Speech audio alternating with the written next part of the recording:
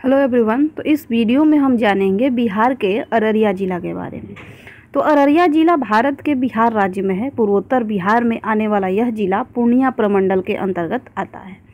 अब अररिया ज़िले का नामकरण और गठन। तो ब्रिटिश शासनकाल के दौरान जिस जिला इलाके में सैन्य अधिकारी मिस्टर एजे फोर्ब्स का बंगला था, उसे रेसिडेंशियल एरिया कहा जाता था। लोगों ने उस क्षेत्र को संक्षिप्त करके आर एरिया कहना शुरू कर दिया, जो कालांतर में अररिया हो गया। यानी कि रेसिडेंशियल एरिया को शॉर्ट फॉर्म में आर एरिया कहा जाने लगा और वहीं बदलकर बाद में अररिया हो गया। इसका गठन उन्नीस सौ चौंसठ में वर्तमान अररिया ज़िले के भूभाग को भूतपूर्व पूर्णिया ज़िले का अनुमंडल बताया गया था। जनवरी 1990 में इसे पूर्णिया जिला से अलग करके एक स्वतंत्र जिला बनाया गया। अब अररिया ज़िले का इतिहास। तो अररिया के पास एक बहुत ही प्रतिष्ठित अतीत है, हालाँकि अनिश्चितताओं के बीच में कटा हुआ है। महाभारत के कुछ वंश जो पूर्व पूर्वी भारत में भीम की विजय का वर्णन करते हैं, ज़िले की पुरातनता के बारे में बहुमूल्य जानकारी प्रस्तुत करते हैं। प्राचीन इतिहास में, भारतीय इतिहास के तीन महत्वपूर्ण वंशों के शासनकाल में अररिया को तीन अलग अलग संस्कृतियों के संगम का स्थान कहा जा सकता है। किरता के महत्वपूर्ण जनजाति ने उत्तरी दिशा में शासन किया जबकि पूर्वी पक्ष पुंडरस और वर्तमान अररिया के निकट बहता हुआ उस समय के कोसी नदी का पश्चिम क्षेत्र अंगार द्वारा शासन किया गया। अरण्य नाम से बना अर, अररिया कालांतर में यह क्षेत्र मुगल शासकों के अधीन था जबकि मौर्य काल में सम्राट अशोक के शासन में अररिया और आसपास का इलाका था। उसके बाद तो गुप्त वंश का शासन रहा था। सत्रह सौ अड़तीस ईस्वी में पूर्णिया के मिलिट्री गवर्नर सैफ खान ने राजा नंदलाल को यहाँ का प्रशासक नियुक्त किया था। और अररिया जिला का इतिहास महाभारत काल से भी जुड़ा है। यही नहीं, इस पिछले, पिछड़े ज़िले के इतिहास में द्वापर युग के भी कई तार जुड़े हैं।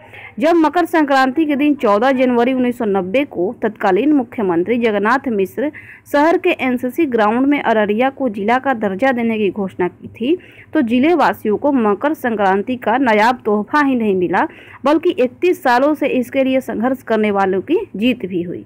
अररिया की सामाजिक जीवन शैली ऐतिहासिक गरिमा साहित्यिक गौरव और सांस्कृतिक वैभव की विशिष्टता के कारण भी अपनी पहचान है।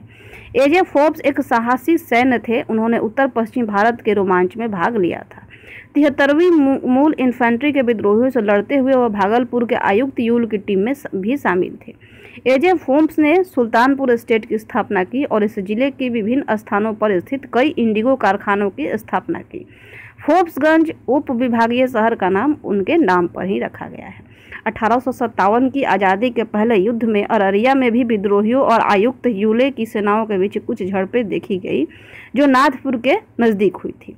अठारह सौ सत्तावन के प्रकरण और कानून व्यवस्था के बारे में अन्य घटनाक्रमों को ध्यान रखते हुए अठारह में अररिया को बेहतर प्रशासन प्रदान करने के लिए अररिया, मटियारी, दिमिया, हवेली के कुछ हिस्सों और बहादुरगंज को विलय करके उप विभाग के रूप में गठित किया गया और आखिरकार 1990 में ये एक जिला बन गया। अब अररिया ज़िले की भौगोलिक स्थिति। तो अररिया ज़िले का जो भौगोलिक क्षेत्रफल है, वो 2830 वर्ग किलोमीटर है। अब इसकी बाउंड्री देखें तो इसके उत्तर में है नेपाल, इसके दक्षिण में है पूर्णिया जिला, इसके पूर्व में है किशनगंज जिला और इसके पश्चिम में है सुपौल और मधेपुरा जिला। इस ज़िले की प्रमुख नदियाँ हैं कोसी, सुवाड़ा, काली, परमार और कोली। इस ज़िले की प्रमुख भाषा जो यहाँ बोली जाती है, वो है हिंदी, भोजपुरी, मैथिली और उर्दू।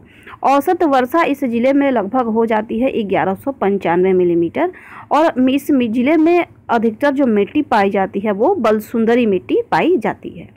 अब इस ज़िले की अर्थव्यवस्था कृषि और उसके उत्पादों पर जुड़ी हुई है।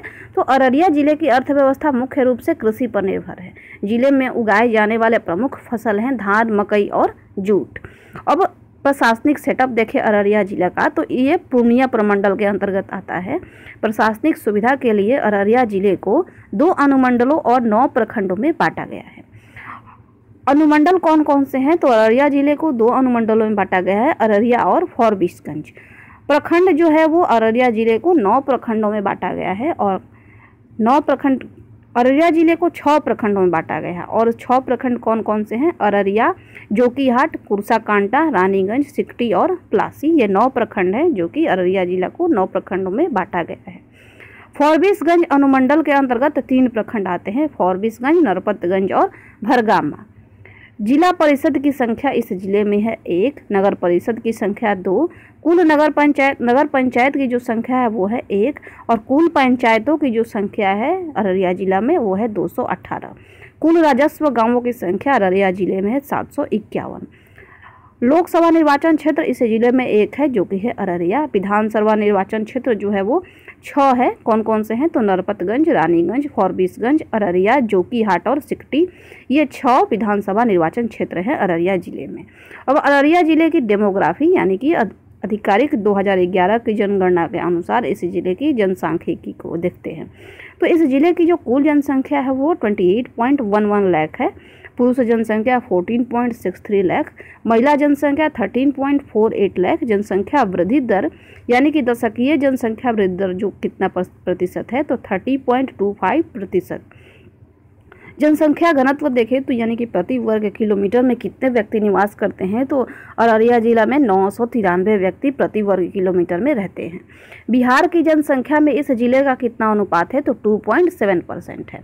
लिंगानुपात इस ज़िले की देखें, यानी कि प्रति 1000 पुरुषों पर महिलाओं की संख्या कितनी है अररिया ज़िले में? तो 921 महिलाएँ हैं प्रति 1000 पुरुषों पर। इस ज़िले की औसत साक्षरता है 53.53 परसेंट। पुरुष साक्षरता है 62.30 परसेंट और महिला साक्षरता है 43.93 परसेंट। इस ज़िले की शहरी जनसंख्या है सिक्स परसेंट और ग्रामीण जनसंख्या जो है वो है नाइन्टी फोर परसेंट। यानी कि आप देख सकते हैं कि ये जिला जो है वो पूरी तरह से ग्रामीण जनसंख्या वाला जिला है, जहाँ की चौरानवे प्रतिशत लोग जो है वो ग्रामीण क्षेत्रों में निवास करते हैं। अब आधिकारिक जनगणना 2011 के अनुसार इस ज़िले की धर्म की जनगणना देखें तो ये जिला जो है वो एक हिंदू बहुसंख्यक जिला है। ज़िले में हिंदुओं की संख्या 56.68 परसेंट है, जबकि मुस्लिमों की आबादी 42.95 परसेंट है। अन्य धर्मों की बात करें तो ज़िले में ईसाई धर्म जो है वो 0.15 परसेंट सिख धर्म 0.01 परसेंट और बौद्ध धर्म है 0.01 परसेंट जैन धर्म जो है वो 0.07 परसेंट है। अब अररिया ज़िले के कुछ पर्यटन स्थल हैं। तो पहले जो पर्यटन स्थल है वो है खंडेश्वरी काली मंदिर। तो माँ काली का प्रसिद्ध प्रसिद्ध प्राचीन मंदिर अररिया ज़िले में स्थित है। इस मंदिर की स्थापना अठारह सौ चौरासी में की गई थी। इसका नव निर्माण अठारह सौ सतासी में किया गया। इस मंदिर की ऊंचाई एक फीट है। इसकी इसकी गिनती देश, भारत के सबसे ऊँचे मंदिरों में किया जाता है। हज़ारों की संख्या में दूर दूर से श्रद्धालु यहाँ पूजा अर्चना करने आते हैं। रानीगंज वृक्ष वाटिका। तो प्राकृतिक सौंदर्य से भरपूर यह दर्शनीय और मनोरम स्थल अररिया जिला मुख्यालय से 30 किलोमीटर दूरी पर पश्चिम दिशा में रानीगंज में स्थित है। दो सौ नवासी एकड़ में फैले इस क्षेत्र को वन क्षेत्र के रूप में विकसित किया गया है। जैव विविधता उद्यान कुसियार कुसियार गाँव। तो अररिया ज़िले के कुसियार गाँव में यह बिहार का पहला बायोडाइवर्सिटी पार्क है। जिला मुख्यालय से लगभग 10 किलोमीटर की दूरी पर नेशनल हाईवे 57 के पास यह जो जैव विविधता उद्यान है, है वो स्थित है। प्राकृतिक स्तूप जिसे कि रेप्लिका स्तूप कहा जाता है तो यह अररिया जिला मुख्यालय से लगभग 15 किलोमीटर की दूरी पर फॉरबिसगंज की ओर जाने वाले मानिकपुर के पास स्थित है। शिव मंदिर ठाकुरबाड़ी तो अररिया के प्राचीन ठाकुरबाड़ी में शहर के मध्य में भगवान शिव का यह मंदिर स्थित है।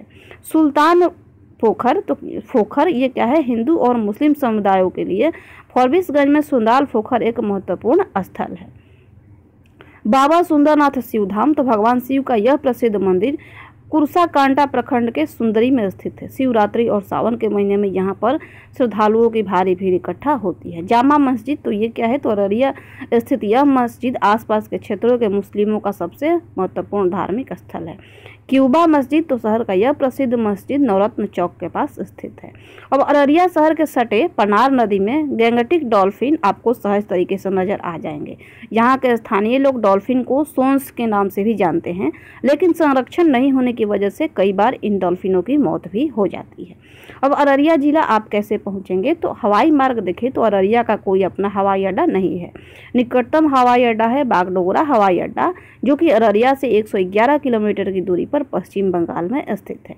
दूसरा नज़दीकी हवाई अड्डा है पटना एयरपोर्ट, जो कि अररिया से 235 किलोमीटर दूरी पर पटना में स्थित है। रेल मार्ग देखें तो अररिया रेल मार्ग से देश के विभिन्न जगहों से जुड़ा हुआ है। यहाँ बड़ी लाइन की सुविधा मौजूद है। नज़दीकी रेलवे स्टेशन अररिया कोट और अररिया है। सड़क मार्ग देखें तो अररिया नेशनल हाईवे 57 से जुड़ा है। अररिया बस अड्डे से बिहार राज्य के विभिन्न जिलों और प्रखंड प्रमुख प्रखंडों के लिए नियमित बस सुविधा उपलब्ध है। प्रमुख bus station Araria zero mile और अररिया कोट है। यहाँ आप अपने निजी वाहन या कार से भी आ सकते हैं। तो ये था अररिया ज़िले के बारे में कुछ जानकारी। उम्मीद करते हैं ये वीडियो आपको पसंद आया होगा। वीडियो देखने के लिए आपका बहुत बहुत धन्यवाद।